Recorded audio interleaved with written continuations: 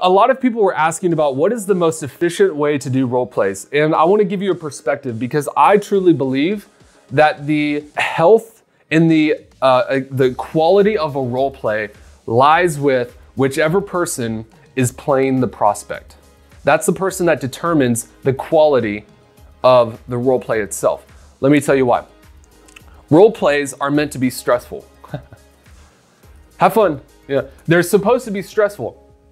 The best role plays are the ones where I am I'm I'm on the hot seat. It's in a meeting, other people are watching me. I'm embarrassed if I say the wrong thing. I'm starting to sweat a little bit. Those are the best role plays because the role plays are supposed to be more difficult than the actual thing. Plot twist, this is why exercising is a thing. This is why before people go to battle, they go through training camps. This is why if you've ever watched any baseball game, you see that donut that they put on the bat and they're just swinging as hard as they can? That donut is extra weight to make it harder to swing the bat.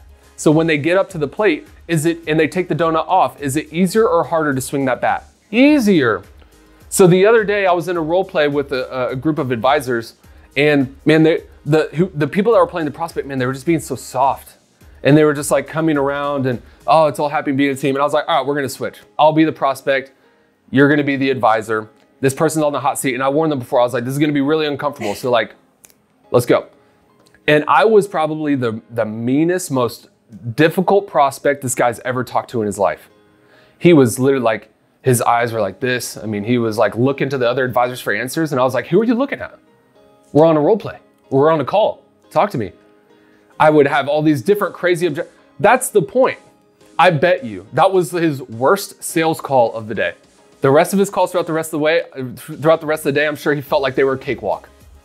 This is how you want role play calls to go. The objective of the prospect is to be very difficult on the closer during that role play.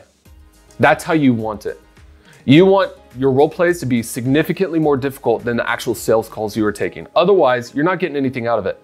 This is the equivalent of going to the gym, grabbing those rubber fives on the end, just pumping, pumping some quick iron, maybe three reps, and then checking your phone, texting some people, and then leaving. How much work is that actually going to help you with? Like none.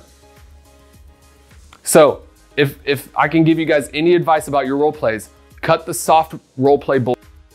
Make it difficult. This is what's gonna make you guys way better. Now, when you guys hop out of role plays, make sure you guys, you know, make peace. Hey, I love and care about you. I was just being, I was just being a D-bag because that's my job on as a, you know, in the role play. All that stuff. You can do that. But it's time to be, it's time to turn up the heat on your role plays a little bit.